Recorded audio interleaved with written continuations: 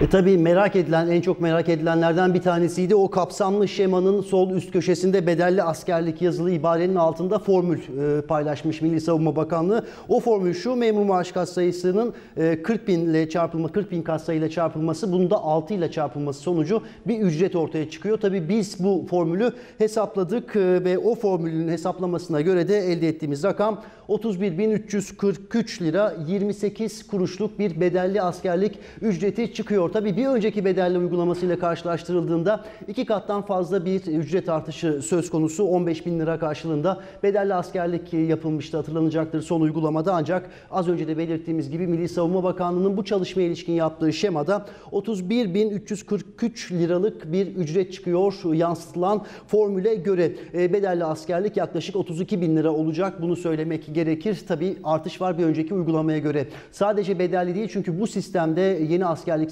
sisteminde bedelli askerlikle dövizli askerliğinde ücretleri eşitlendi. Dövizli askerlikte bu meblağın yani yaklaşık 32 bin liranın dolar ya da euro cinsinden ödenmesiyle gerçekleştirilecek. Onu da hatırlatmak gerekirse bir önceki uygulamada 2000 euro civarındaydı. Orada da iki kattan fazla bir artış söz konusu. 5000 euroya yaklaşan bir rakam söz konusu. Bunu da belirtelim. En çok merak edilenlerden bir tanesiydi. Bir kez daha altını çizmekte fayda var. 31.343 lira olacak Milli Savunma Bakanlığı'nın yaptığı çalışmaya göre bedelli askerlik eğer bu çalışma yasalaşırsa ve hayata geçerse ama şunu da belirtelim. Söz konusu bu hesaplama her 6 ayda bir yenilenen, güncellenen bir hesaplama. Bu çerçevede memur maaş zamlarına e, koşut olarak da bu ücrette güncelleme ve artış da önümüzdeki yıllarda olacak. Ücret yüksek ama şunu da altını çizelim. E, geçtiğimiz uygulamada 600 bin kadar kişi bedelli askerlikten faydalanmıştı ama bu kez 145 bin kişilik bir kontenjan söz konusu. Bu nedenle de fiyatın yüksek belirlenmiş olabileceği belirtiliyor. 145 binden fazla